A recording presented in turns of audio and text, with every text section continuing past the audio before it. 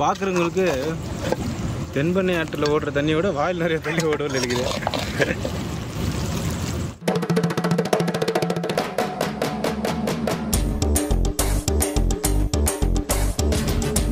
இன்னைக்கு வந்து பரோட்டாவில் கோழிக்கறி பிரியாணி செய்ய போகிறேண்ணா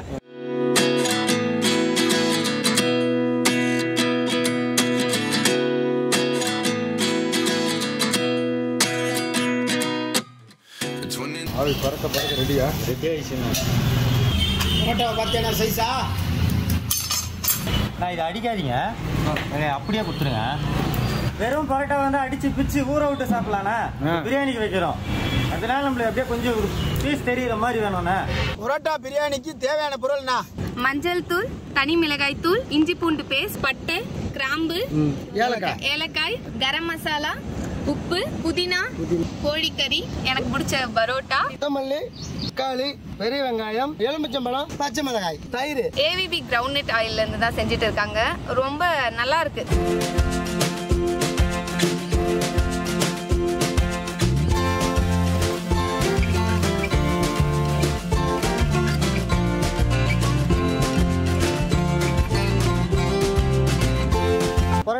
வாங்கினது எப்படி வெட்டினது எப்படி எல்லாம் மக்கள் பார்த்துருப்பாங்க. பரோட்டா பிரியாணி செய்வது எப்படின்னு இதுக்கு மேலே பார்த்துங்க நம்ம ஏவிபி கடல் என்ன ஊற்ற போறோம்னா ஒரு நானூறு கிராம் சேர்க்க போறோம்னா பதினஞ்சு பரோட்டா வாங்கியிருக்கோம். பெரிய பெரிய சைஸ் பரோட்டா. கடல்னா செக் எண்ணெய் ஊத்துறீங்க இல்லையா? ஆமா. இதை பொறுத்த வரைக்கும் கறி கணக்கு கிடையாதுங்கண்ணா. நம்மளுக்கு வந்து பிரியாணி எந்த பிரியாணி பண்ணாலும் அரிசி தான் கணக்கு. எப்போ பிரியாணி எடுத்தாலும் அரிசி தான் கணக்குண்ணா இப்போ அதே மாதிரி நம்மளுக்கு பரோட்டா தான் கணக்கு. ஏன்னா இன்னைக்கு நம்மளுக்கு பரோட்டா தான் அரிசியே. அதனால நானூறு கிராம் நம்ம சேர்த்துருக்கோம். ஒரு பெரிய துண்டு பட்டை. நாலஞ்சு பத்து ஏலக்காய். ஏலக்காய் ஒரு பத்து கிராம்பு. ஆறுநூறு கிராம் வெங்காயம்.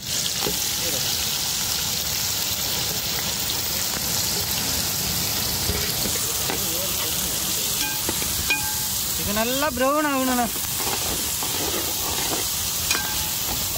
நான் பரோட்டா பிரியாணிக்கு சிக்கன் கழுவிலண்ணா.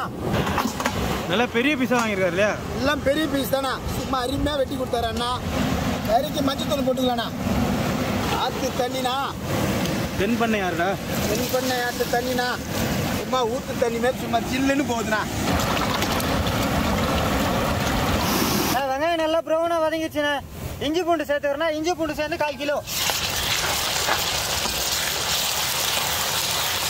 அறுநூறு கிராம் தக்காளி சேர்க்கறேண்ணா பொடியாக வெட்டி வச்ச தக்காளி.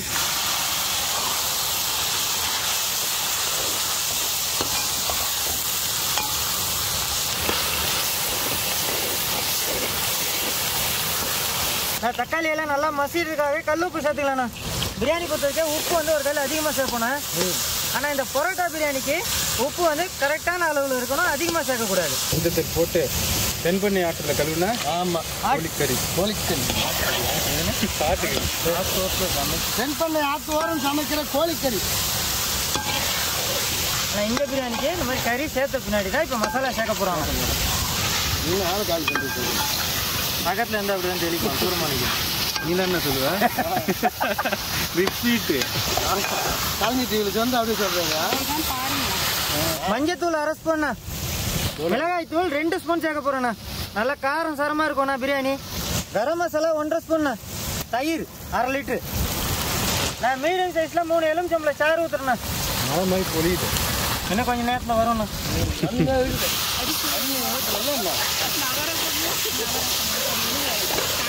மல்லித்தலை சின்ன கட்டில் ஒரு கட்டுங்கண்ணா.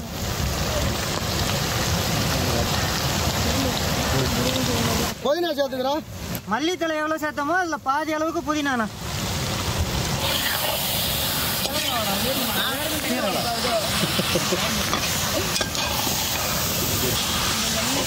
பச்சை மிளகா போடுகிறோம் ஒரு பத்து பச்சை மிளகா சேர்த்துக்கலாண்ணா.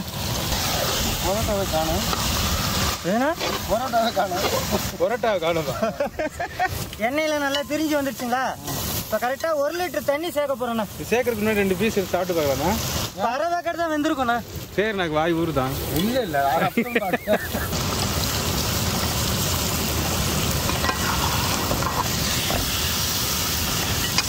நான் மற்ற கோழிக்கறி பிரியாணிக்கெல்லாம் முக்கால் வேக்கட்டில் பண்ணுவேன்னா அதாவது அரிசி பிரியாணிக்கு.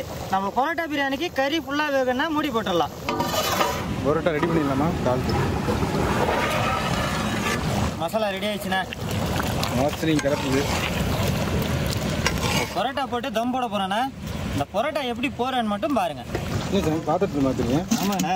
ம். பரோட்டா தம் போடணும் இல்லைங்களா? புரோட்டா தம்புண்ணா பரோட்டா போட்டு பாதி அளவு எடுத்தாச்சுண்ணே. பரோட்டா சேர்க்கணும்னா இந்த மாதிரி நல்லா துண்டு துண்டா வெட்டி வச்ச பரோட்டா. சதுர சதுரமா.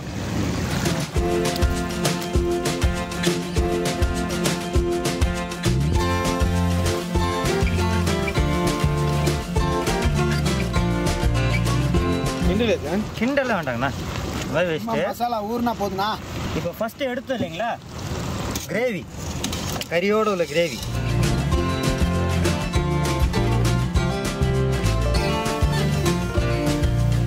மாதிரி இருக்கு மாஸ்டர் புரோட்டா பிரியாணி. எல்லா இடமும் போகிற மாதிரி. இப்போ நம்ம ஒரு லிட்டர் தண்ணி வச்சோம் இல்லைங்களா? இப்போ இது பரோட்டா ஃபுல்லாகவே இழுத்துக்கும். இதுக்கு வந்து நம்ம குழம்பே பயன்படுத்த தேவையில்லண்ணா. இப்போ பிரியாணின்னு எடுத்துட்டோம்னா கண்டிப்பாக தால்ச்சாவோ கத்திரிக்காய் சட்னியோ தயிர் பச்சடியாச்சும் இருக்கணும்னா இதுக்கு எதுவுமே வேண்டாம் இதுவே நல்ல மசாலாவாக இருக்கும்ண்ணா அஞ்சு நிமிஷம் தம் போடலாண்ணா. தம் பட்டாச்சா? தம் போட்டுச்சுண்ணே அஞ்சு நிமிஷத்துல மூணு நிமிஷம் ஆயிருக்குண்ணா. இப்போ ஆஃப் பண்ணி ஒரு ரெண்டு நிமிஷம் வச்சுக்கலாண்ணா. அப்போ போட்டிருக்க அரிசி வந்து நல்லா ஊறிடும் அதாவது பரோட்டா. நான் தம் போடுகிறேண்ணா தம் உடைக்கிறீங்களா ஊறிச்சு நல்லா ஊறி இருக்குண்ணா மேலே எப்படி இருக்கு இல்லையா? ஓகேவாண்ணா அந்த தண்ணின்ற ஒரு இதுவே இருக்காது. பார்க்குறவங்களுக்கு தென்பண்ணை ஆற்றில் ஓடுற தண்ணியோட வாயில் நிறைய தண்ணி ஓடுவோம் இருக்குது அருமையான பரோட்டா பிரியாணி ரெடி ஆயிடுச்சு. இப்போ எல்லாருக்கும் சாப்பிட கொடுத்துடலாம். வேற லெவல்னா வேற லெவலா இது குழந்தை கேட்குது சூப்பர்ண்ணா. நல்லா இருக்கா நல்லா இருக்கு வேற லெவல் டேஸ்ட் எப்படிண்ணா இருக்கு? சூப்பர் சூப்பர் சூப்பராக இருக்கணும் நல்லா இருக்கா என்னண்ணா எப்படிண்ணா இருக்கு? செம்ம லெவலில் சம்டைம்ஸ் நம்மளே பரோ- பரோட்டா சாப்பிடும்போது ஊறிட்டா ஒரு மாதிரி சொத சொதன்னு இருக்கும்ல. அப்படி இல்லை. நல்லா ஜூஸியாக இருக்கு. பாதி நல்லா ஊறி பாதி நல்லா டிஃப்ரெண்ட்டாக இருக்கு டேஸ்ட் வேற லெவல்ல இருக்கு. ம்? ம். பிரியாணி ஃபீல் இருக்கா? பிரியாணி பிரியாணியை விட வேற லெவல்ல இருக்கு. மாஸ்டர் தரமான பரோட்டா பிரியாணி செஞ்சு கொடுத்தாருண்ணா வேற லெவலில் சமைச்சு சாப்பிட்டோம் முக்கியமா சேனல் கத்துக்கணும்னாக்கா எங்க கேட்க டிராவல்ஸ் பாருங்க. ஆக மொத்தம் ரெண்டு சேனலுமே லைக் பண்ணுங்க ஷேர் பண்ணுங்க கமெண்ட் பண்ணுங்க சப்ஸ்கிரைப் பண்ணுங்க. மறந்துடாம பண்ணுங்க.